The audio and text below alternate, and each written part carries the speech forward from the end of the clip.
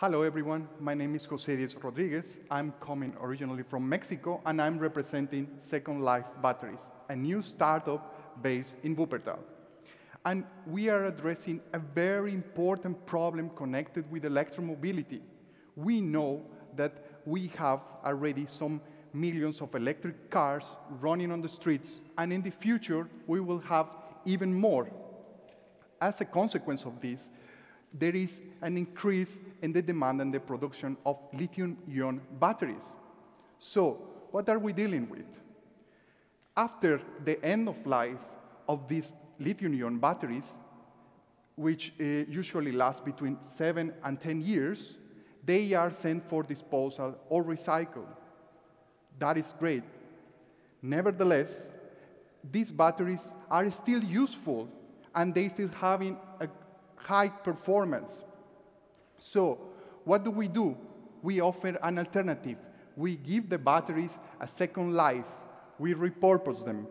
And in order to do that, we collect the batteries from the car makers, we dismantle them into modules, we test them, checking different parameters, for example, state of health, state of charge, temperature, and after that, we come with a classification.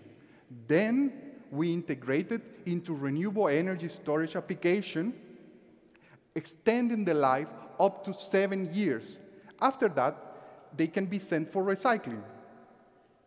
These are some of the uh, pictures of our working process, and we are a multidisciplinary team working with an interdisciplinary approach, combining young and professional experience from different disciplines that go from marketing, engineering, economics, and management.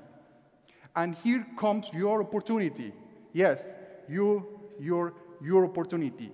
We are looking for strategic partnerships. We want and we need support for product development.